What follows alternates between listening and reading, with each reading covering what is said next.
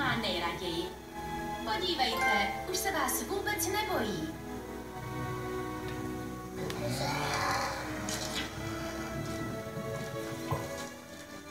Musíme jí sehnat další krmivo. Podržte rostlinu jehličce u tlamy.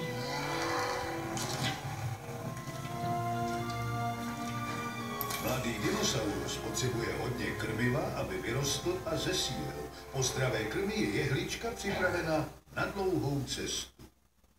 Výborně, jehlička je teď mnohem spokojenější. Možná jí dub dá druhou šanci.